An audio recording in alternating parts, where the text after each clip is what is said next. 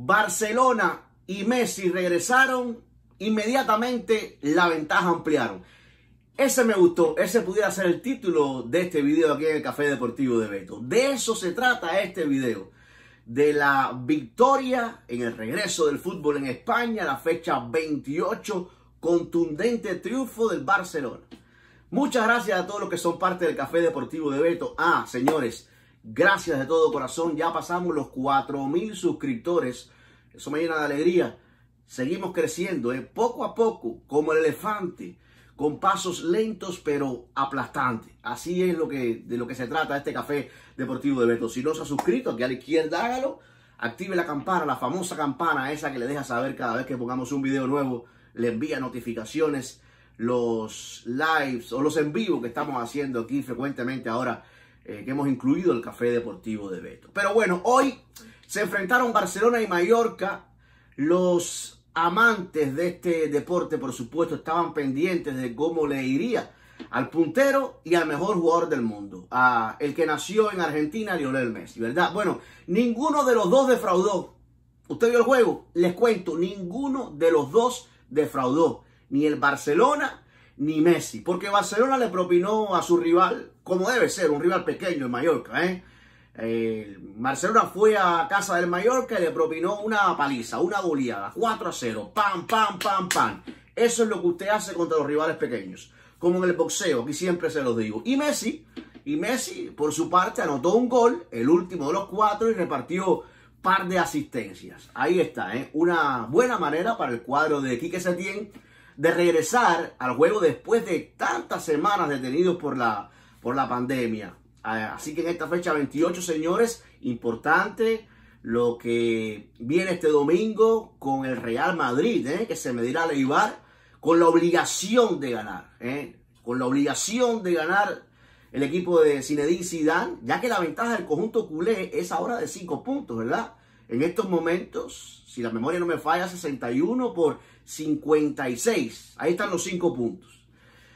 Bueno, metiéndonos en el juego a pocos segundos después del primer minuto de juego, cabezazo del chileno Arturo Vidal le dio una ventaja tempranera al Barcelona. Después dos, dos buenas paradas de, del portero, el mejor del mundo, ¿eh? Stein. Ahí no hay discusión. El mejor portero del mundo es el que milita en el Barcelona. Y bueno, los 37 minutos de esa primera etapa, llegó el segundo gol, puntillazo ahí, Segundo gol que significó el primero de Martin Braithwaite.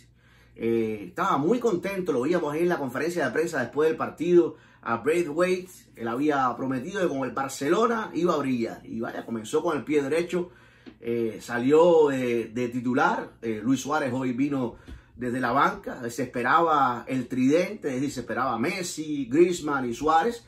Y bueno, sí, salió de titular Messi, salió Griezmann, pero Luis Suárez entró después desde el banco. ¿eh? Y bueno, el gol de Braithwaite, eh, una, tras una asistencia de, Leo, de, cabeza.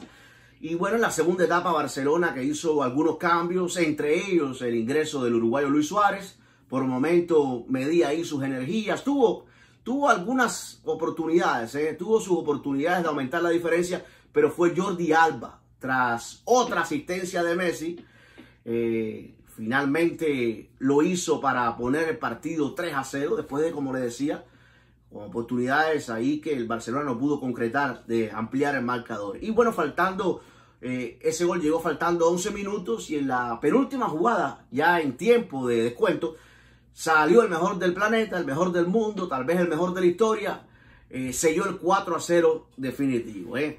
Así que Messi que también mostró un nuevo look, miren aquí, el nuevo look de Messi. ¿eh? ¿eh? y bueno, ahora tiene 20 goles, líder absoluto en España.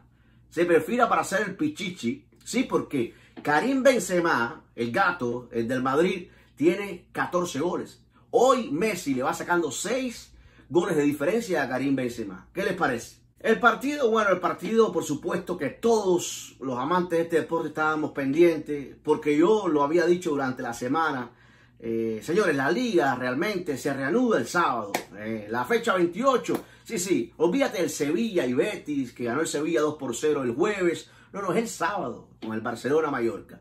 Y bueno, significaba eso mucho, ¿no? El, regreso después del parón de, por la pandemia en las tribunas ahí se simuló la presencia de público eh, y todas esas cosas, ¿no? Hasta un intruso, ¿eh? un intruso se metió en el terreno de juego vistiendo la camiseta, ahí tenemos la foto, la camiseta de Messi de Argentina.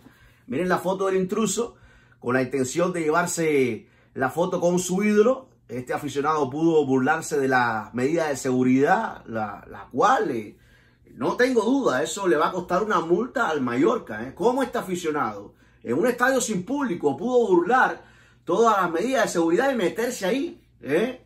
Eh, arrestado inmediatamente y por supuesto eh, ahí vemos cómo se lo llevaban en la, en la foto. Así que, señores, la última presentación de Barcelona había sido hace 98 días en el triunfo como local ante la Real Sociedad por 1 a 0 Precisamente fue Messi de penal el que anotó ese gol en la, en la victoria. 98 días, así que después de 98 días regresa al fútbol en España. Y como dice nuestro amigo Julio Iglesias, la vida sigue igual. Barcelona, más puntero que nunca. 5 de ventaja sobre el Real Madrid. Messi, Pichichi, 20 goles, 6 más que Karim Benzema. La vida sigue igual. Señores, suscríbanse si no lo ha hecho aquí a la izquierda, el Café Deportivo de Beto. Seguimos creciendo, active la campana, qué bueno que tenemos fútbol. Y recuerden que para hablar de deportes hay que ver deportes. Aquí no le queda otra. Oh, y la gorra del Barcelona